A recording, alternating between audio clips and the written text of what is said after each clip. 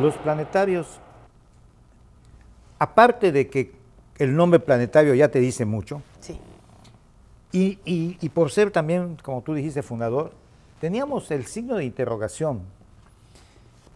¿Y será que venga la gente que ya vio la bóveda celeste y la posición de los astros y la Vía Láctea y todo lo demás? Si ya lo vi, si ya lo puedo volver a ver, si, si lo tengo por internet, si lo bajo por Facebook y, y además, bueno, bueno, sí, vamos a distraernos y a esparcirnos un poco allá, a, a- a salir de casa y, y ver.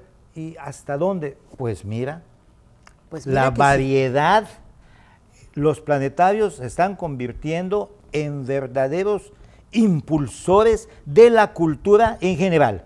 En general. Porque el planetario, las instalaciones del planetario han cobijado a una variedad de manifestaciones artísticas principalmente. Y científicas, porque también ves muchos concursos de escuelas.